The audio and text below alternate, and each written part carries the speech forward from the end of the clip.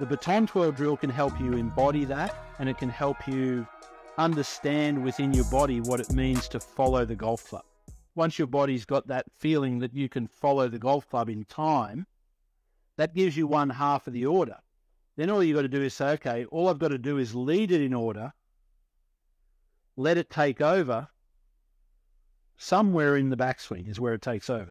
Basically, as soon as my hands get above my elbows, it's the point at which the club is going to take over. Because you, unless you try to, you can't stop it taking over. And here's the thing, which I disagree a little bit with the muscles stopping at the top. There's no need to stop anything. There's natural limits here. And Hogan said when he nailed his swing, it was because the swing would hit a set slot at the end of the backswing hit. He didn't slow it down. The club would hit it. Yeah, so he was right. I mean, they like have a, a spot that he was trying to remember to hit every no. touch every time. It was just no, like it would hit the same spot for him, right? What the club does is crosses the the midpoint of you before it hits that point. Okay, it hits that point on the other side of you. Is how far behind you can you allow it to go? So when the club takes over, you immediately begin to respond. And the way that every golfer does that is they change legs. Great. This brings to the question I wanted to ask you about specifically for tonight. So the thinking before was shift to the right, club goes to the right, shift to the left, club goes to the left. And you said no for for instead of that, think about it more in a in a fashion working this yes. way.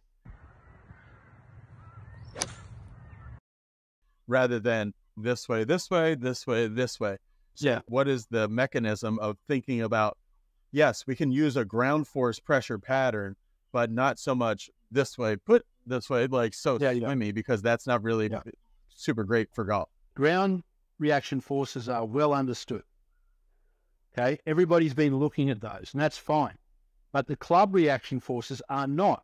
People are not factoring in what does it mean to have an unbalanced club in your hands?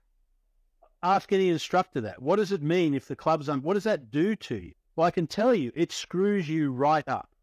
Okay, if the club is unbalanced, it doesn't matter who you are, right? And I think that's what happens to good players way more than anything. They get a little bit out of sequence, okay, with the with the club head, which is traveling very far and very fast, they get a little bit out of sequence with that, and there's no way to recover.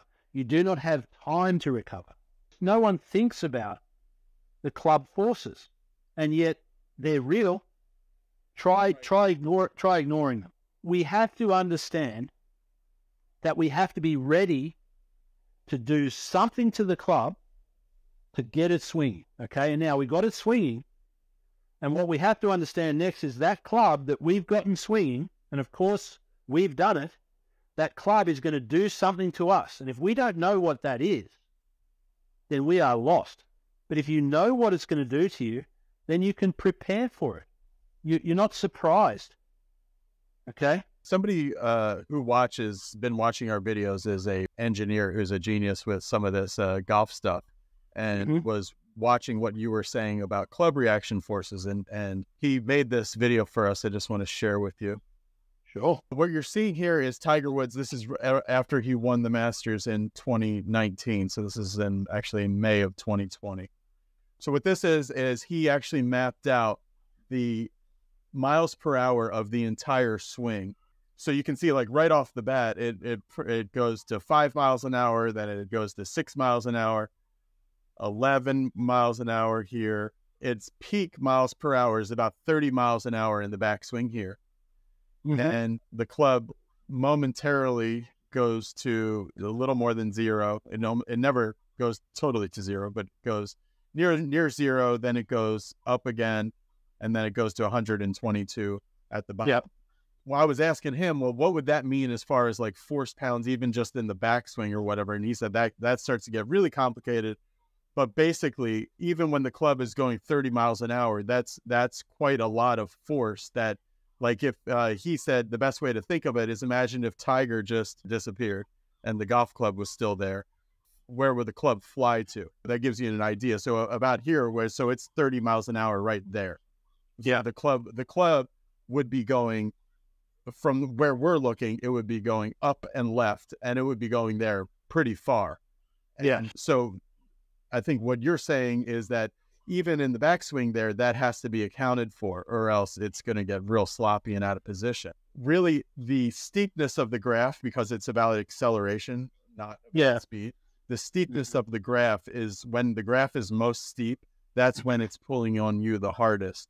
So actually, even though it's 30 here, it's it's fairly flat there. But then right here, as it's decelerating, it's quite steep, and then out of the acceleration into the downswing, that's really pulling on you. that that technology looks awesome. I'd love to talk to this guy further, but I don't really need a machine to tell me that I'm getting acted on, right? Because if you come over to me and I'm just standing there and you push me, I, I know I've been pushed.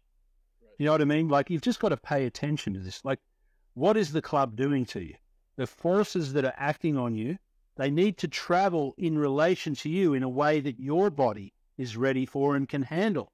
I don't advocate trying to control the shape of the swing as as a video camera would see it. Okay, Yeah, but it's you like need talk about geometry.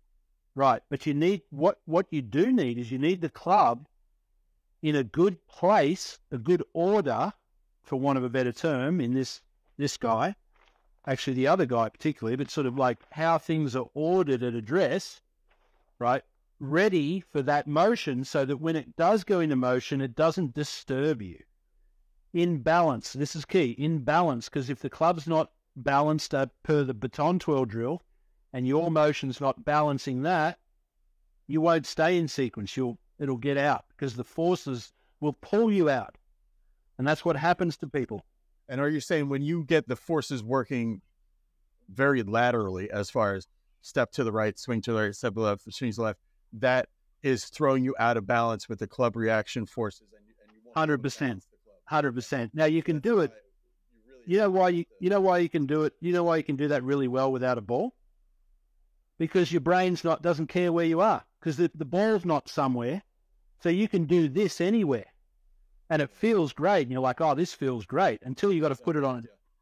It feels awesome. If your brain, if your club dynamically, and this is a let's jump back here. This five to one ratio, this explains it. The reason your average golfer doesn't swing it at a three to one ratio is because they can't handle the forces. If they swung it at a backswing dynamic that would give them a three to one ratio, they'd fall over because they're out of position and they're not ready for it. So they take a backswing that they're ready for, and then they make a downswing. Okay. Whereas your player that's really good, he's like, "Yep, I know what's coming here. This is gonna, this is gonna tear us up here, and it's gonna come down here. So okay, I'm ready. Boom, go, boom, and it's all ballistic for them. It's a ballistic action. There's no decisions mid swing. Oh, what do I do now? There's no time for that. It's ballistic. It's like boom. For an adult learner or someone who is good as a junior who's lost their game, I advocate, and people might not like the way I talk about it, but I advocate understanding because I don't have to think about this while I swing because I know it. When you know it, you don't have to think about it while you do it. You just do it. The decision's made. This is the order I'm in. I'm going in this order and I go. Okay? It's not like, okay, what do I do next? No, no, there's just an order that I go through. Okay, there's nothing else. Okay, so like uh, that that makes me think of a, a few comments that people said like, uh, well, if you think about you know how much of this stuff do you think Dustin Johnson even knows? You know, and some of these these players that people see as just like purely athletic players that don't get into the technique and stuff, like they think like, oh man, if and this there's some tour players that live in my area that um, kind of clown on me because they know that I I'm going around asking all these different people about how uh, how to swing the golf club and stuff, and and they've messaged me and said uh, people have won tens of millions of dollars on tour, saying like, you think I thought about any of that stuff when I was trying to win? So I would not advocate. They're really young, and I'm like I'm an adult learner. So so how does that? the difference. That's the difference. Is it, like the difference is so monumentally huge. Okay, and here's the other thing, right? So let's take Mike Weir, okay? So he was a stud in 2003 till 2007, right? Then he lost his game and then he got into the Stack and Tilt he, he won again. And then, you know, those guys helped him off the ledge. But it didn't it didn't solve his problem. Okay, so he still had problems. So, and this is the thing: you you cannot get an adult to turn their mind off when they hit shit shots. And this was the thing with Mike. When he hit a shit shot, he was not happy with my response several times. I'm not saying in general, but just several times. He was not happy with my response as to what went wrong okay, my version of events. He was like, no, it has to be something, you know, more than that, etc. So not every tour player is is at that stage where these guys are saying, but what they're what they're hundred percent right about is that they're not thinking about this while they're playing. And to ask how many golfers understand tour players, they teachers don't understand this, and it drives me crazy now. I'm like, why did I have to sort that out? right? Honestly, Lee, why did I have to be the one to say that the club head's one end and the feet are the other? I mean, that's obvious now. It's obvious. Okay, which means that everything, there is nothing in the golf swing that isn't between those two ends. Everything is ensconced within that, that frame. Nothing's outside it. And here's the thing, guys nothing can move truly from you in a direction that isn't right through that system. You think you can move over here and over here, but that's a, that's just a fallacy that your brain's playing a trick on you. You can't move right move left. Like you can only move from your foot to your ankle to your shin to your knee to your. Th- you can only move through you. Okay, you can't move over there. Right, unless unless the whole of you move. Like if all of you moves over there, then then fine. Right. So when you're walking down the street, all of you's moving over somewhere. You're going somewhere. But in a golf swing, that's not what good players do. They don't go somewhere. They are in a motion within them that produces a motion without them. Okay, Brendan, I want to show you my version of the stepping drills. And I would say that the, the essential goal in terms of creating one continuous motion um, is shared with Dr. Kwon in terms of his stepping drills. There is a bit of a difference though, and uh, to me that's not an insignificant difference. Okay, that is that I want my my stepping to be and and also my my preparation I want to be in, in the same all in the same direction. Okay, so I'm not going to be stepping throwing the club to one side, stepping to the other side, and then when the club swings to the to that side, stepping away from it back to the other side to swing the club back to the side. That's a lot of this side, then this side. So it's a change of direction. Okay, so I believe Dr. Kwon's uh, exercise is a. It looks like a really good one. Okay, I think what I'm going to show you here, the directness of what I'm going to show you, I believe works better in a game where the ball's sitting somewhere very specific. I don't see why we should move this side of the ball and this side of the ball. Of course, the swing must do that, but our intention and our effort doesn't necessarily need to do that in order to hit the ball. Okay, so that's the difference. Um, everything else about his his drills, especially the continuous motion part, I think are fantastic. So, so how we're going to perform this, I'm going to start with. I'm going to stand about, and you you have to do this a few times to know, but I'm roughly a nice, comfortable step too far away from the golf ball. Okay, and so from there I stagger my stance open. You can see my left foot's back a bit, my right foot's forward a bit, and I'm going to do that because I'm going to, I want to feel this, this verticality, if you like, in my right axis, which again, Dr. Kwon talks about wanting to be up that right side on the backswing. 100% agree with that. I don't think you have to shift to the right to achieve that. Okay, there's there's a way in which you could set up, like for example, Rory already sets up. You know, he's got that spread over to the right side at address, and it's not like he has to to move a great deal to to get up that right side. He's kind of already there, although the club's away from there. Okay, and the club meeting that is really what accounts for the weight shift. But I sort of digress there. So I'm looking to stay vertical in that right side. I'm staggered open. And what I'm going to do is in the right sequence of the swing, I'm going to send the club up in the air like so, just out in the direction roughly of the ball. I'm not trying to be too precise here. Then I'm going to, using my feet to push, using both feet to push into my right heel. So I rock into that right side, again, directly away from where the club goes. So the club goes straight out here. I go away from that to begin the swing. Then when the club swings away, I step away from the club. Now the club goes straight through to the finish. Now the, the timing of the step away is again a little bit different to thinking that people believe that you need to step to the left before the end of the backswing.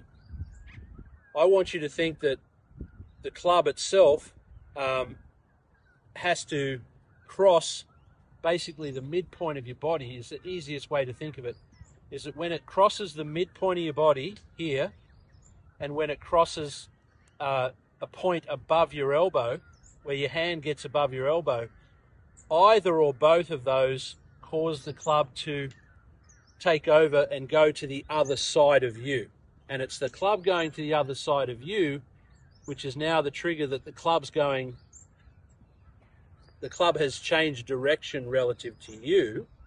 It's still going in one direction itself, change direction relative to you. That's when you step away from it. Okay, so that gets quite wordy, but but I want to be specific about these things, and we can discuss this as we go. So there's a very defined sequence here, and there's a very defined direction to this drill, and it happens to coincide with the exact direction and exact sequence of the golf swing, which makes it a great drill because it's not like the baton drill, which is there to design to teach you this second part of the swing primarily.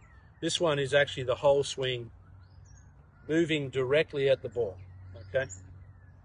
So I'll see if I can demonstrate this.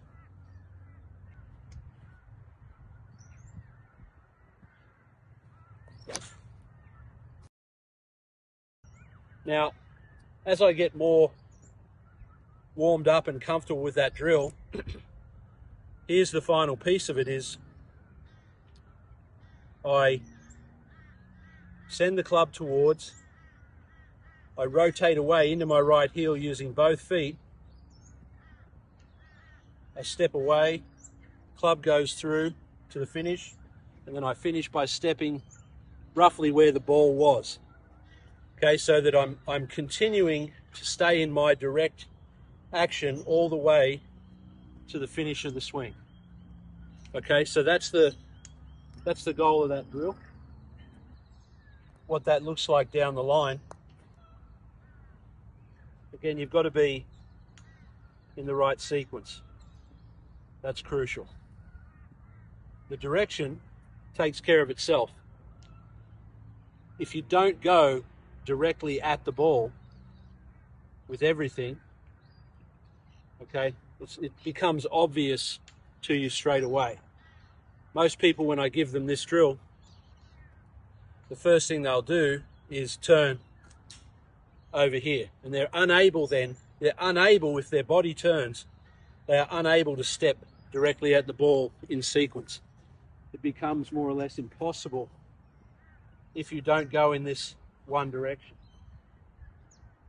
So it's a little bit higher, I think, initial learning curve to some other step drills you might see out there. But that's okay. We've got it. We've got to learn the right things from it. All right. So here it is down the line. And I started a little bit too close, but I was in sequence. Okay. I wasn't able to step freely enough, but that's okay. I haven't done the drill myself in some time. I don't really need to do this drill anymore because I, I developed it so that people could learn what I learned from messing around with this drill and getting quite proficient at it. I'll just come back, I'll show you one.